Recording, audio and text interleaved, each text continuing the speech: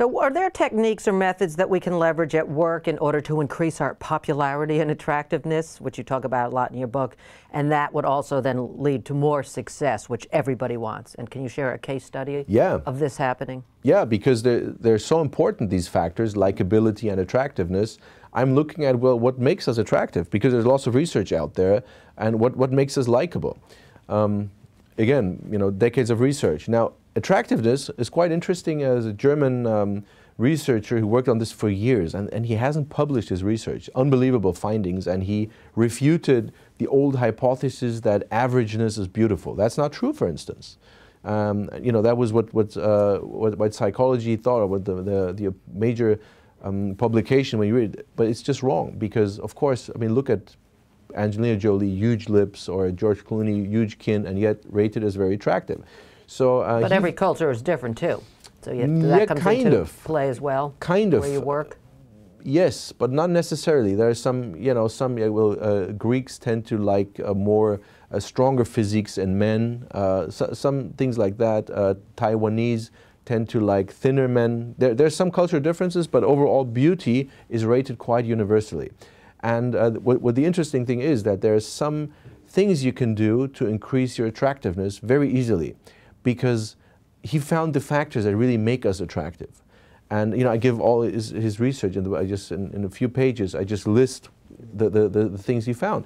And one uh, important thing is, for instance, the nose isn't that important. So people waste thousands on their noses, even though nose a nose is really only important when it's really big, like really unattractive. Then it can make a crucial difference, but you know, you don't see any actor thinking, wow, what a, what a nose uh, he has. It's the chin for men, for instance. The chin is so important uh, for guys. And there's some factors that you don't have to have any surgery, you can just easily change. For instance, um, because I'm sure you're going to ask me what, what?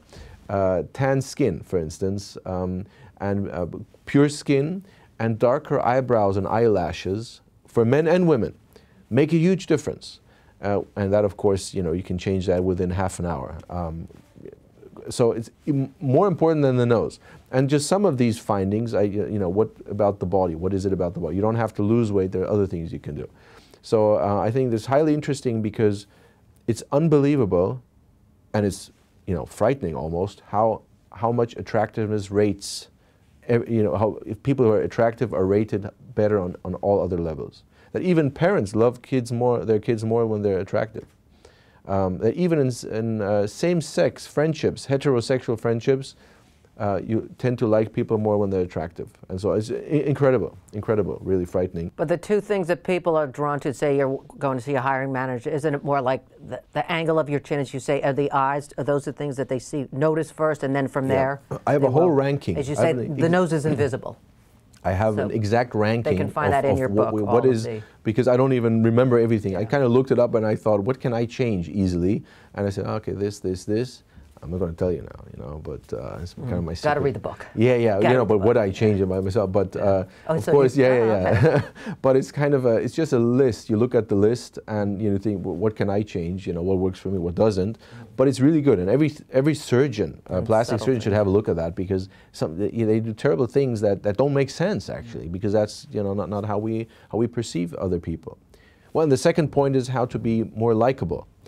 And again, there's lots of research out there, but uh, we're very good at that. You know, common sense tells us, you know, be polite when you meet somebody, take a shower before you meet them, uh, be nice, uh, whatever. You know, these things are all right. But it's just some things I found from the research that people don't. For instance, if you make a compliment, very helpful, be very specific. Don't say good job because it's empty talk. But say, you know, I really liked how you, you know, in the meeting you uh, used uh, had some great slides without the usual clutter and you know was concise to the point. Thank you very much. So that kind of, uh, of compliment really works. Mm -hmm. Flattery can get you anywhere if you do it the right way.